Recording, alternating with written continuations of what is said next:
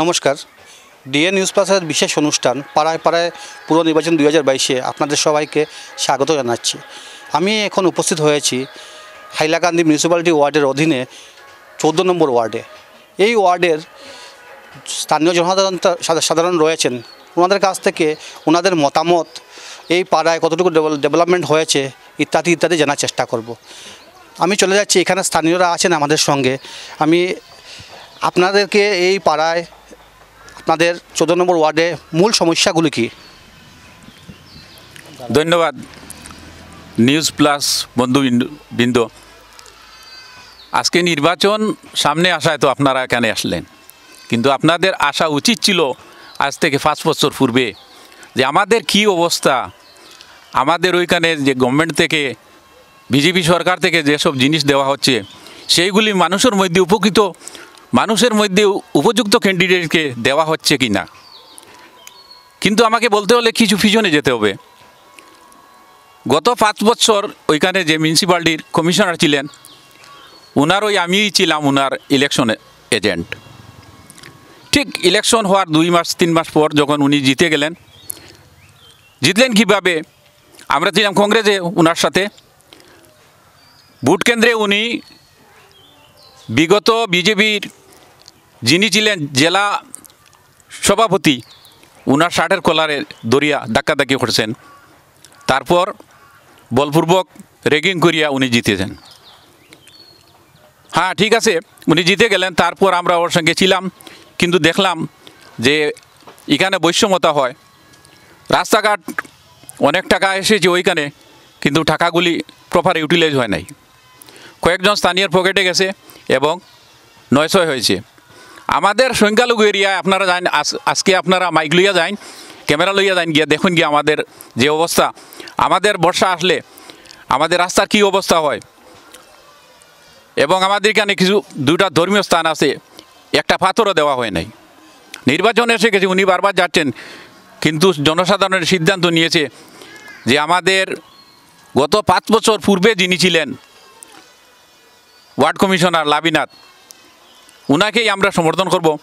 কারণ উনার কাছে ওই বৈষম্যতা নাই এবং হিন্দু মুসলমানের বিভেদ উনি করেন নাই।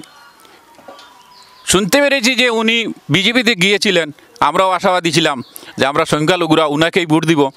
কিন্তু দুর্ভাগ্য, দুর্ভাগ্যবশত হাইলাকান্দির বিজেপির কর্মকর্তাবৃন্দ অর্থ নয়শয়ের কারণে যার কাছে বেশি পয়সা উনাকেই আবার বিজেপি প্রার্থী দিয়েছেন। কিন্তু একটা কথা আপনারা মনে রাখবেন, খোলা কাছে দুইবার তুর দেয় না। আর বিজেপি একটা ওয়াশিং মেশিন নি যে কংগ্রেসে যারা দুর্নীতি করল, লক্ষ লক্ষ টাকা নয়শো করল, আজকে ওর প্রার্থীকে টিকিট দেওয়া হয়েছে।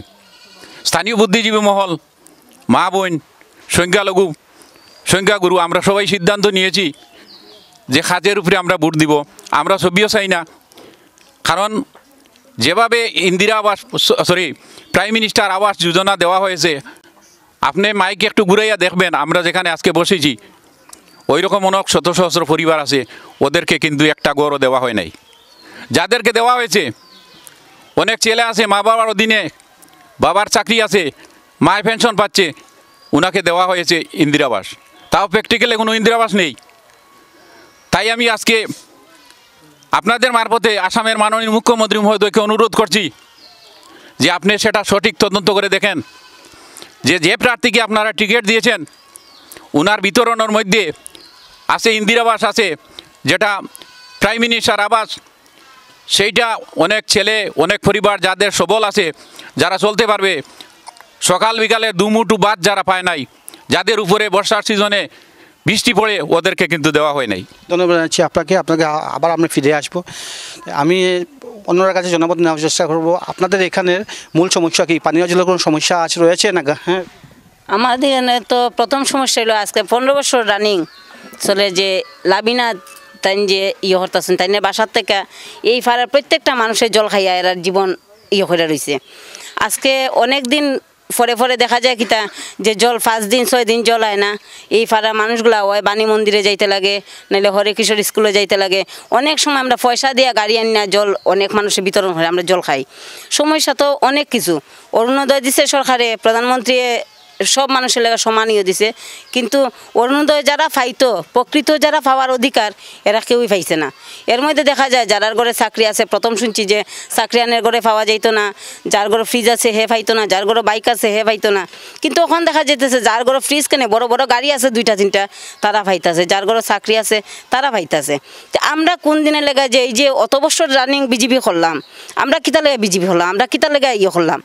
আজকে যারে নমিনেশন দেওয়া হয়েছে হে গত পাঁচ বছর আগে কংগ্রেসি আসলো। হেরে হঠাৎ করে তারা বিজেপির টিকিট দিলা। আমরা যে বিজেপি হলাম, আমরা যে প্রার্থী নির্বাচন হলাম, এরা কেন পাইল না? এই প্রশ্নগুলো আমরা প্রধান ইয়র কাছে মুখ্যমন্ত্রী আমরা বিশেষভাবে অনুরোধ করে জানাইতেছি যে ইটি তদন্ত করে দেখা হইতো এখানে কংগ্রেসের থেকে আওয়ার পরে হেরে টিকিট দেওয়া হয়। বিজেপি যারা প্রাক্তন যারা, এরা এখানে দেওয়া হইল না? এটি আমরা বিশেষ প্রশ্ন মুখ্যমন্ত্রীর কাছে।